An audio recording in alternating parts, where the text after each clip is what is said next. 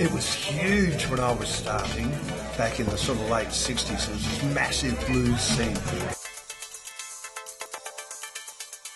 There are many problems with the culture of Adelaide now. You listen to Adelaide radio playlists, they play stuff, you know, like even though they say they play stuff from now, they play, they do not play any, uh, very, very little Australian product. The stuff that they do play is 30 years old.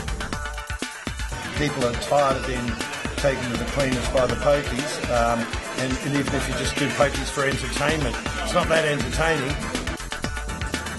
Um, this doesn't happen in Melbourne, It doesn't happen in Sydney.